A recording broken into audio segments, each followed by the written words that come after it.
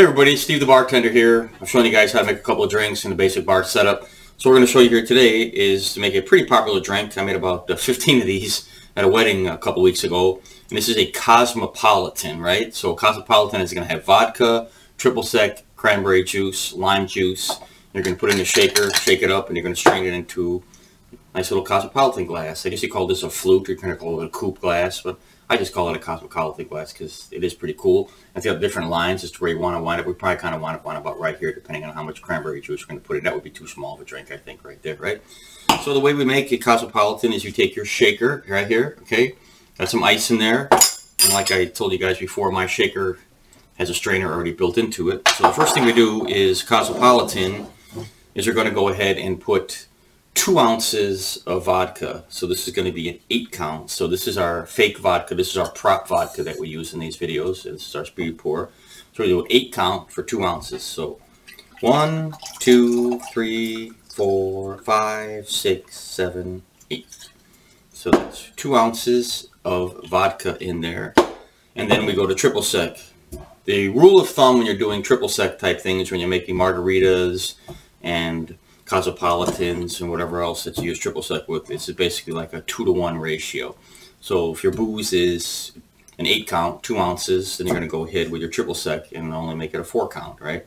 Because you don't want this to overpower that. So one, two, three, four. So that's a four count of triple sec in there. And then we go with our cranberry juice, yeah, ounce and a half, maybe two ounces. That looks good. And then here it's just about half an ounce of lime juice. And that should be good. And then we go ahead and put our top.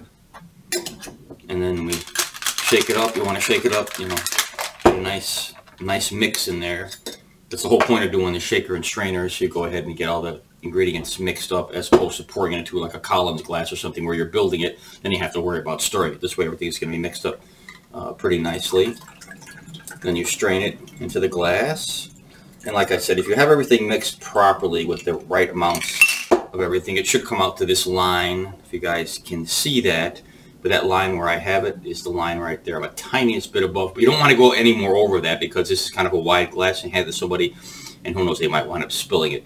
But you also don't want to short people when they're making a glass. You don't want to go ahead, even if you put enough vodka, enough triple sec, enough alcohol in there, but you don't put enough cranberry juice, to fill this up, but this is a little bit lower than that, they're going to see it and they're going to think, oh, I got gypped. You know, I didn't get it. I didn't get a big enough drink. Even though you got a ton of booze in there, you know, which is what really people come for the drink for anyway, right? So you, I always maybe go a little tiny bit over on this, and then it's like, oh, look at that nice big drink.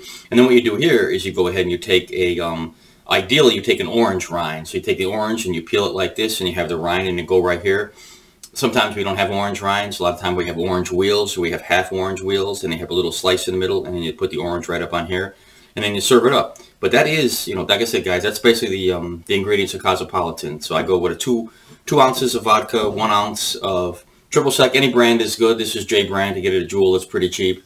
You can use De Kuyper. De Kuyper is about twice as much.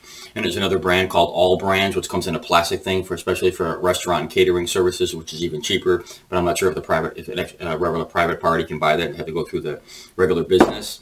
And then you obviously have your shaker and pour. And then I had my cranberry juice here. This is actually real cranberry juice. It's not fake booze and fake water in here, right? And then again, you have your lime juice here, right? You buy this, I bought this at Jewel. And that's it. So if this really truly had some vodka in it, it would taste pretty good. Yeah, I can taste the cranberry, I can taste triple sec, and I can taste the lime juice. Obviously, it's just water. There's no vodka in there. But that is how you make a Cosmopolitan, and thanks for watching.